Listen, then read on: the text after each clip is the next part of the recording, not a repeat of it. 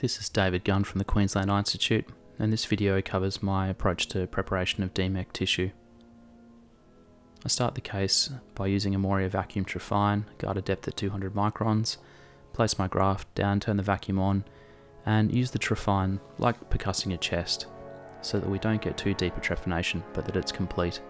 As you lift off the, the trephine, try not to break the seal, as if you need to repunch you can.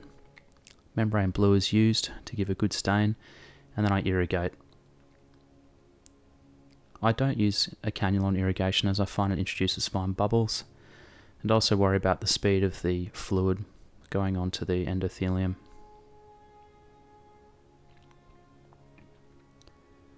After this, I use a 0.2mm Sinskey hook to do a 360 degree separation of the Descemet's membrane.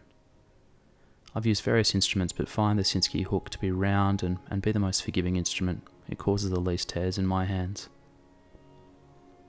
One issue with this technique is that the stroma posteriorly in young patients can be very loose and the Descemet's attachment is strong. And so as you're trying to separate the Descemet's, the stroma can rise up to meet you like an accordion and give very poor counter traction.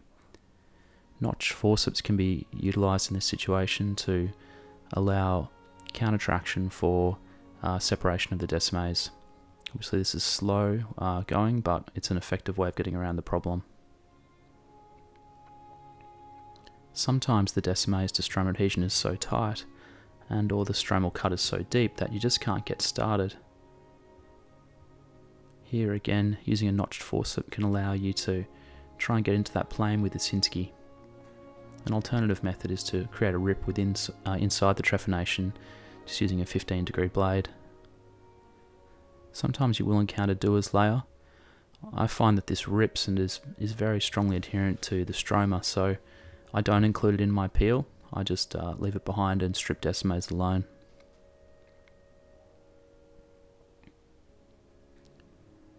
An alternative method for making the initial scoring is to use a 15 degree blade uh, I find this to be uh, quicker and uh, also more cost effective. After you've done staining, it's important to remove all the peripheral rips.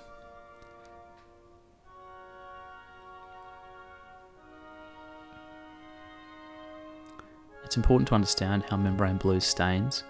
So bare stroma stains well, while the endothelial side of Descemet stains poorly and the stromal side stains well. You can see here that bare stroma staining.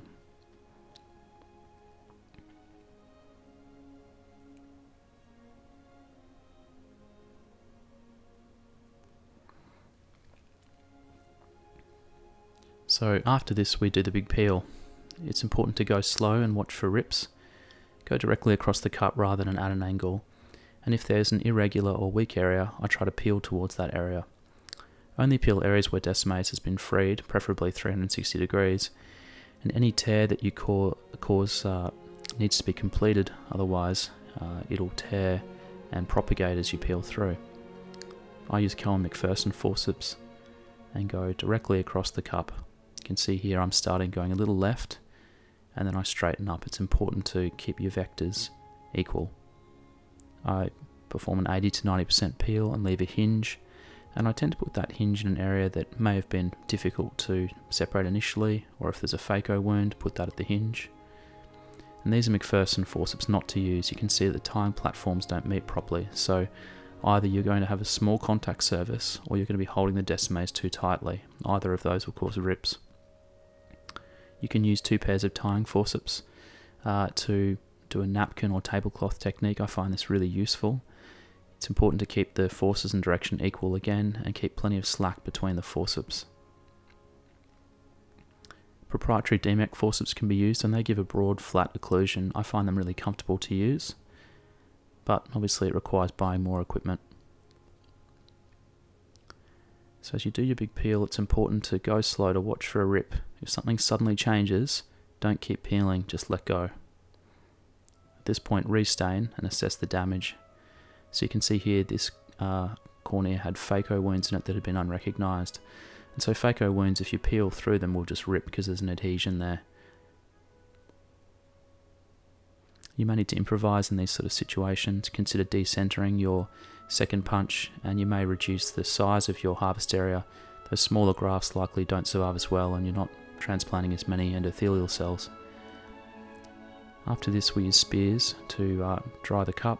Spears drag water towards them and wherever water goes so does the Descemet's membrane so putting them symmetrically helps the membrane to stay central in that situation. After drying I use a 2mm skin punch to create a stromal window. I place part of the blade over one of the vacuum vents as this allows a tissue bridge to be left behind so that we don't get a free stromal disc. Despite that, sometimes you might get a free stromal disc in the tip of the skin punch. You can see the defect left there on the graft. I think it's important to fish out and, re and replace this free cap. If you can't retrieve it, just avoid using the vacuum again, or Descemet's may be drawn down into the stromal defect. After this I refloat the Descemet's and I do my membrane blue soak at this stage. I find less than 90 seconds I can't see the scroll properly and more than 90 seconds I find the F stamp is difficult to see because the Descemet's is stained so heavily. I dry at this point and use the uh, use the spears to drag and unroll the Descemet's towards you just with the flow of fluid. It's important to dry that interface very well as when you mark your F if there's a lot of fluid in the interface, it can be difficult to get a good mark. I flip over the graft and then open the stromal window at this point. Sometimes there'll be tissue bridges and it's difficult to open that window. I cut those bridges with a sharp pair of Vannas. Dry the well uh, thoroughly at this point. I look at the corners of the well and if I see a fluid meniscus, uh, then I know that I need to do more drying at that point. I mark Osinski with a, a, thick surgical pen and make an F. I find that thin tip pens and ink pads don't work quite as well for this. It's important to have it really dry to get a good mark. I then replace the cap and flip over the graft.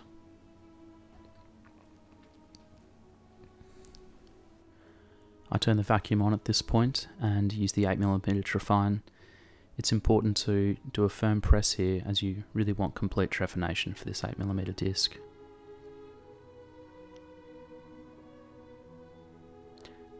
At this point I use BSS to refill the cup and remove the 8 to 10mm annulus. It's important to do this carefully as sometimes there will be tissue bridges and if they are there you can complete them like a rhexis.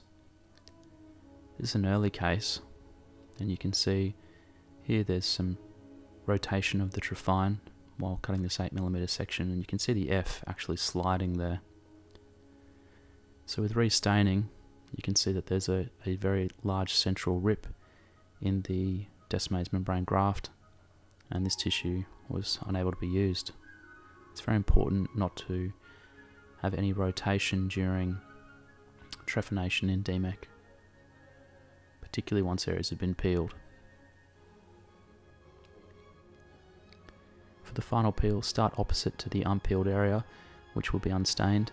Peel horizontally until you're at the unpeeled zone, and then go directly upwards. I find that a tying forcip is enough uh, for this peel. You should drop the scroll directly into a petri dish that's filled with BSS. I prefer to use the Geuder DMEK kit, and here is some video from the company showing uh, the assembly of the tubing, the pipette, and the syringe filled with BSS. So here you do gentle pulses of suction to draw the scroll up into the glass pipette. And while that's underwater, dock it with a 3ml syringe filled with BSS that's bubble free. Really any container that has a wide base and low sides can be used for this process and I find inverted specimen jars a good alternative to the petri dish. Thank you.